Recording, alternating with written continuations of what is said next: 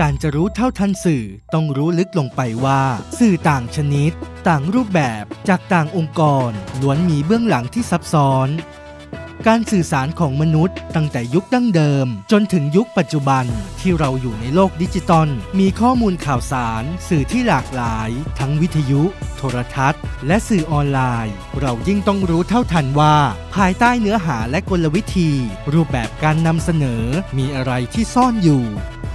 ถ้าดูประเภทเนื้อหาที่เราดูกันแทบทุกวัน คือข่าวที่เราคิดว่าเป็นสื่อให้ความจริง มีผลประโยชน์ต่อส่วนรวม แต่ข่าวไม่จริงเสมอไป เพราะข่าวอาจเป็นข่าวปลอม หรือเฟกนิวหรือบางข่าวก็แฝงอคติ บางข่าวก็แฝงโฆษณา หรืออาจเกิดจากการแย่งกันนำเสนอข่าวให้ไวที่สุด ไม่มีระบบตรวจสอบที่เข้มงวด แต่เราสามารถรู้ทันเข้าใจเป้าหมายผู้นำเสนอ เพื่อเลือกใช้ประโยชน์ได้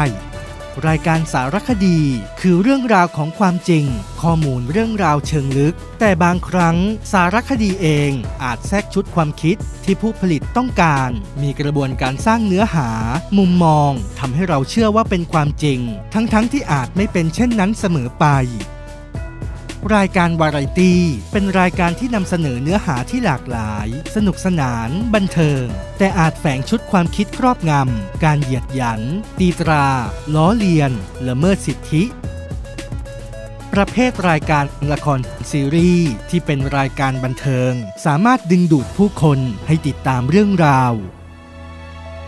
แต่บางครั้งสอดแทรกทั้งค่านิยม เหยียดเพศ เหยียดผิว ความรุนแรง หรือการแอบแฝงโฆษณาที่มีการให้ตัวละครถือสินค้าในฉาก โฆษณาสินค้ายุคใหม่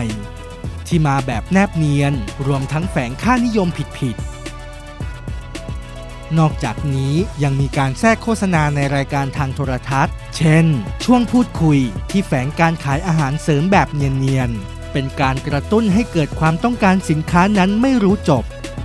ส่วนประเภทสื่อใหม่ ยิ่งก้าวหน้า ด้วยการใช้ AI ตามพฤติกรรมมนุษย์ และยัดเยียดสินค้าในช่องทางสื่อต่างๆ ของเรา